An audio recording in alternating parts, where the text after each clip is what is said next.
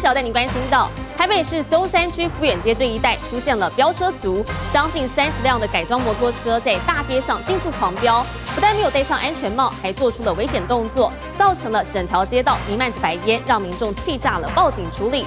不过呢，警方赶到现场没有强制逮捕，反而是驱赶，最后只开出了三张罚单。按住刹车，疯狂转油门，轮胎摩擦烧出白烟。特技表演的地点竟然是台北市福远街滨江街一带。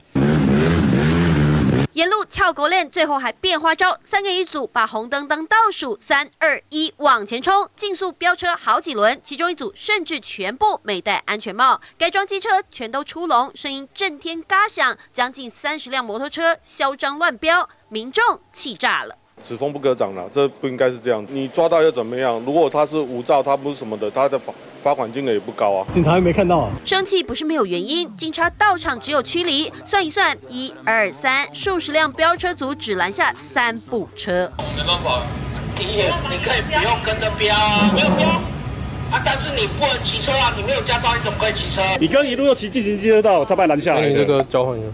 没有吧？你们刚刚是因为我在那边这样。